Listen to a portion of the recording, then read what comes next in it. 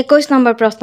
বিয়াল্লিছৰ গণ আন্দোলন আৰু দ্বিতীয় মহাসমৰৰ ঘটনাৱলীক পটভূমি স্বৰূপে লৈ জ্যোতিপ্ৰসাদ আগৰৱালাই ৰচনা কৰা নাটকখন হ'ল অপশ্যনসমূহ চাই লওক।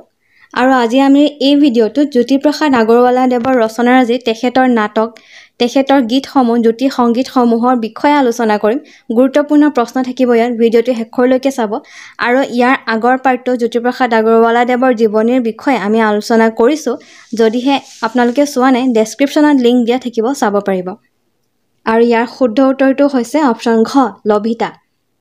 বাইছ নম্বৰ। আজি আমাৰ ভাৰতৰ হীৰৰ মণি মহাত্মা গান্ধীক ইংৰাজ গভৰ্ণমেণ্টে বন্দী কৰি থৈছে। আমাৰ নেতাসকল আজি জেলত পচিছে। এই সংলাপটো জ্যোতিপ্ৰসাদ আগৰৱালাৰ কোনখন নাটকৰ? সংলাপটো ভালকৈ পঢ়ি চাওক। যদি আপোনালোকে সংলাপটো ভালকৈ পঢ়ি চায় উত্তৰটো বিচাৰি পাব। ইয়াত দিয়া আছে সংলাপত দিছে মহাত্মা গান্ধীৰ কথা কৈছে ইংৰাজ গভৰ্ণমেণ্টৰ কথা কৈছে নেতাসকল জেলত যোৱাৰ কথা কৈছে। আৰু আমি একৈছ নম্বৰ প্ৰশ্নটোত পাইছিলোঁ যে এই গণ আন্দোলনৰ পটভূমি লিখা ৰচনা কৰা নাটকখন হৈছে লভিতা গতিকে এই সংলাপটোও হ'ব। অপশ্যন ঘ লভিতা নাটকৰ। বাইছ নম্বৰ প্ৰশ্ন। জ্যোতিপ্ৰসাদ আগৰৱালাৰ লভিতা নাটকখনত কেইটা গীত আছে? শুদ্ধ উত্তৰটো হৈছে আঠটা গীত আছে জ্যোতি সংগীত আঠটা আছে এই নাটকখনত। আৰু সেই আঠটাৰ ভিতৰত কিছুমান খুব জনপ্ৰিয় গীত আছে সেই গীতসমূহ আপোনালোকে মনত ৰাখিব। এটা হৈছে বিশ্ব বিজয়ী নজোৱান। এই গীতটি সংলাপ আপোনালোকে যদি নাটকখন পঢ়িছে বা পঢ়ে তাত পাব ভলণ্টিয়াৰৰ মুখত দিছে এই গীতটি ভলণ্টিয়াৰে গাইছে এই গীতটি বিশ্ব বিজয়ী নজোৱান। দ্বিতীয় এটা বিখ্যাত গীত হৈছে অ' আমাৰ গাঁও আমাৰ গাঁৱৰ মান ৰাখি মৰিবলৈ যাওঁ। আৰু এটা বিখ্যাত গীত হৈছে এইখন নাটকৰ তই কৰিব লাগিব অগ্নিস্নান। নাটক গানসমূহ গীতসমূহ মনত ৰাখি ল'ব কাৰণ দুহেজাৰ ঊনৈছ বৰ্ষত এনেকুৱা প্ৰশ্নই আহিছে। চৌবিছ নম্বৰ চৌবিছ নম্বৰ চাহাব মই কংগ্ৰেছৰ মানুহ নহওঁ গান্ধীৰ মানুহো নহওঁ একো নহওঁ মই গাঁৱলীয়া ছোৱালী সংলাপটো কোনটো চৰিত্ৰৰ গাঁওবুঢ়া লভিতা মৌজাদাৰণী আৰু ভলণ্টিয়াৰ এই গোটেইকেইটা চৰিত্ৰ লভিতা নাটকৰ হয়। আৰু এই সংলাপটো আছিল অপশ্যন খ লভিতা চৰিত্ৰটোৰ পঁচিছ নম্বৰ প্ৰশ্ন। পঁচিছ নম্বৰ প্ৰশ্নটো জ্যোতিপ্ৰসাদ আগৰৱালাই ৰচনা কৰা শেষ নাটকখন কি?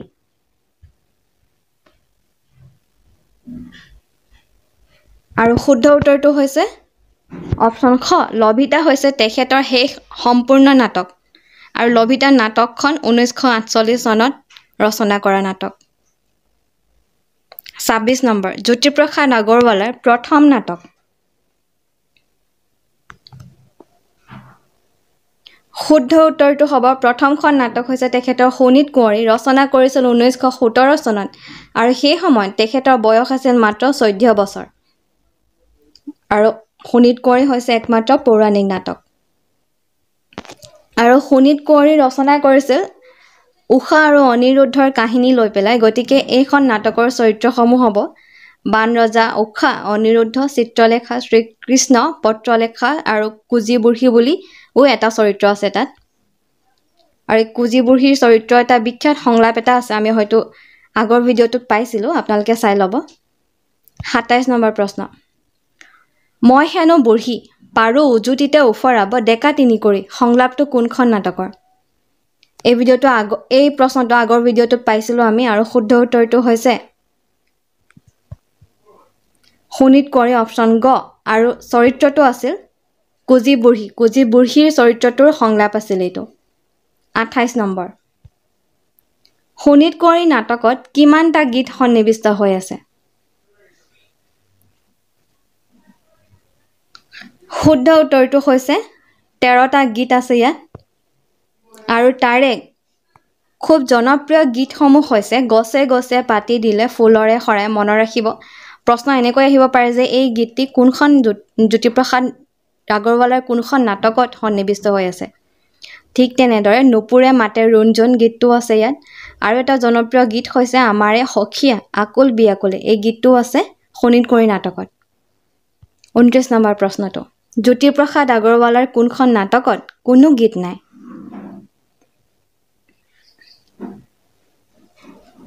অপশ্যনসমূহ চাই লওক আৰু শুদ্ধ উত্তৰটো হ'ব। অপশ্যন খ সুন্দৰ কোঁৱৰ নাটকত কোনো গীত নাই।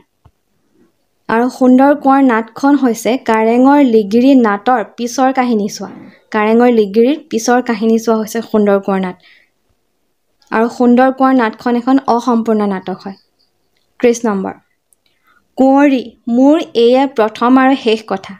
তুমি মোৰ জীৱনৰ পৰা আঁতৰি যাব লাগিব। এই সংলাপটো জ্যোতিপ্ৰসাদ আগৰৱালাৰ কোনখন নাটকৰ?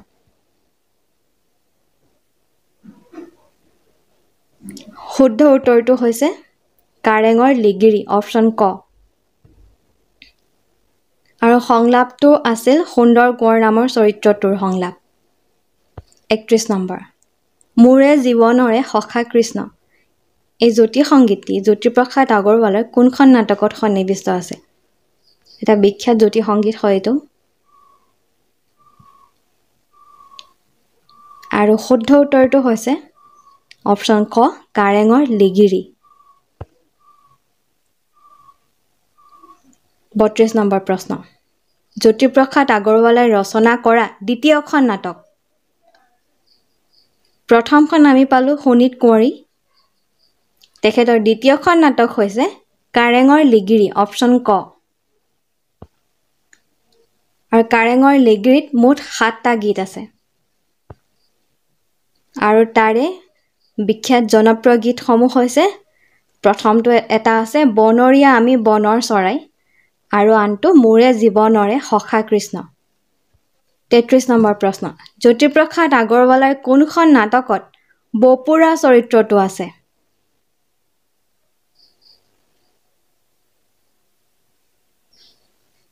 শুদ্ধ উত্তৰটো হৈছে অপশ্যন ঘ কাৰেঙৰ লিগিৰি আৰু এই চৰিত্ৰটো এই নাটকখনৰ আন আন চৰিত্ৰসমূহ হৈছে সুন্দৰ কোঁৱৰ। সুন্দৰ কোঁৱৰ মূল চৰিত্ৰ। আৰু শেৱালি আছে ৰাজমাও কাঞ্চনমতী বপুৰা ৰেৱতী সেউজী।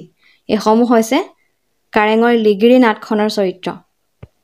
চৌত্ৰিছ নম্বৰ জ্যোতিপ্ৰসাদ আগৰৱালাই ৰচনা কৰা নিম্নলিখিত কোনখন নাটক অসম্পূৰ্ণ? অপশ্যনসমূহ চাওক। খনিকৰ ৰূপালীম নিমাতী কইনা আৰু সোণ পখিলী। শুদ্ধ উত্তৰটো হৈছে ইয়াৰে ভিতৰত অপশ্যন ঘ সোণ পখিলীখন হৈছে তেখেতৰ অসম্পূৰ্ণ নাটক। আৰু তেখেতৰ আন দুখন অসম্পূৰ্ণ নাটক হৈছে এখন হৈছে কনকলতা আৰু আনখন হৈছে সুন্দৰ কোঁৱৰ পঁয়ত্ৰিছ নম্বৰ নিম্নলিখিত কোনখন নাটক জ্যোতিপ্ৰসাদ আগৰৱালাই ৰচনা কৰা নাছিল?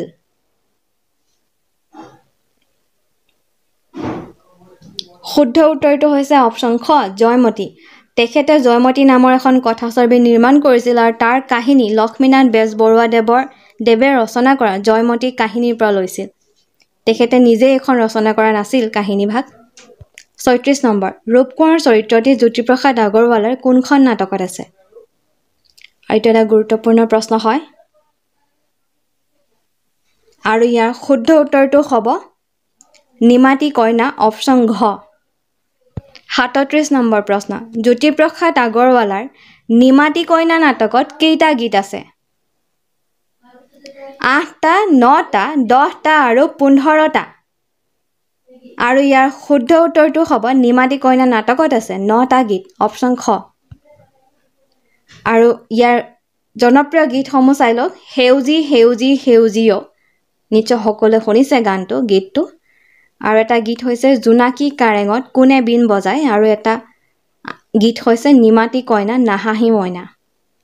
আঠত্ৰিছ নম্বৰ।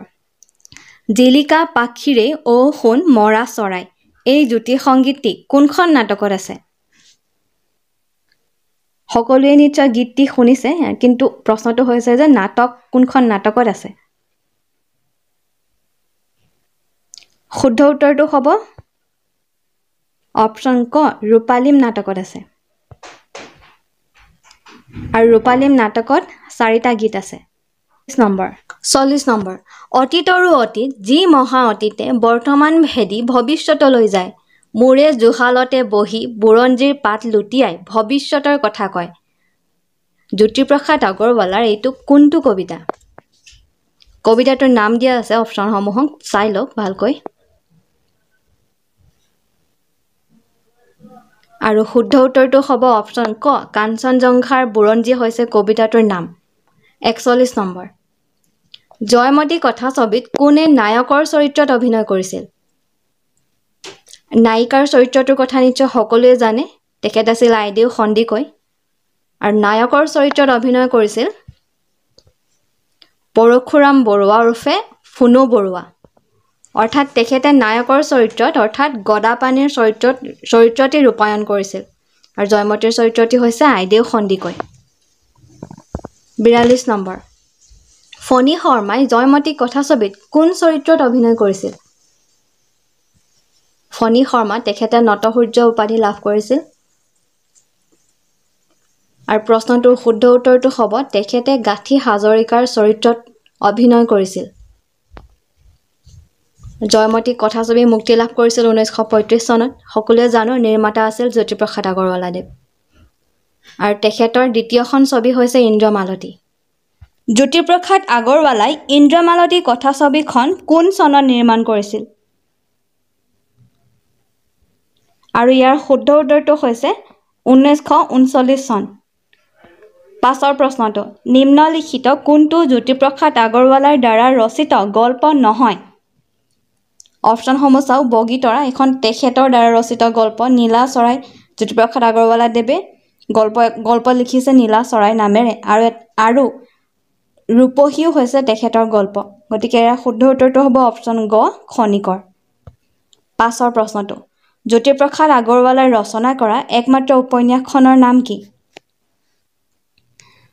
এই প্ৰশ্নটো আছিল এই ভিডিঅ'টোৰ একেবাৰে শেষৰটো প্ৰশ্ন। যদিহে প্ৰশ্নসমূহ ভিডিঅ' ভিডিঅ'টো আৰু প্ৰশ্নসমূহ যদি ভাল পাইছে লাইক কৰিব কমেণ্ট কৰিব ছাবস্ক্ৰাইব কৰিব লক্ষ্যতক আৰু ইয়াৰ শুদ্ধ উত্তৰটো হৈছে আমাৰ গাঁও হৈছে তেখেতৰ একমাত্ৰ উপন্যাস।